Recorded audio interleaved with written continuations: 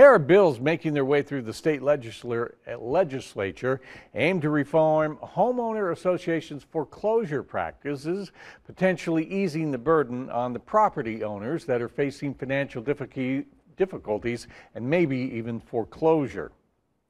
Now, under proposed House Bill 1337, HOAs would be limited in charging attorney's fees to half of the homeowner's unpaid assessments or $5,000, whichever is less.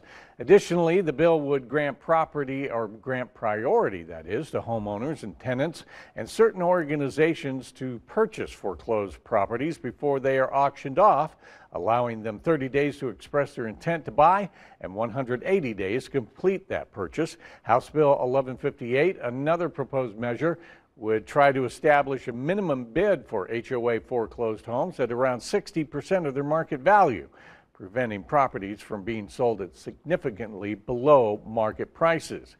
Now, while still under legislation, the outcomes of the bills could have significant implications for home ownership and HOA practices in the state of Colorado.